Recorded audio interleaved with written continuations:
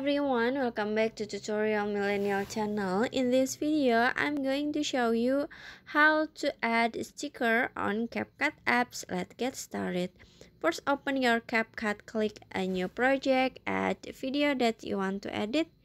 This one, click add at the bottom.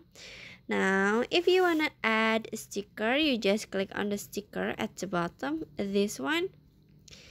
And then in here you can choose uh, the sticker that you want. This is the mini template sticker. Uh, maybe um this one. And then so just click on it. And then click check icon and now set the sticker until the end of the video. And then you can uh, zoom the sticker like this. And finish. So that's how to add a sticker on CapCut apps. I hope you found this video to be helpful. If you enjoy with the content please consider like comment and subscribe down below. Happy editing guys. Bye bye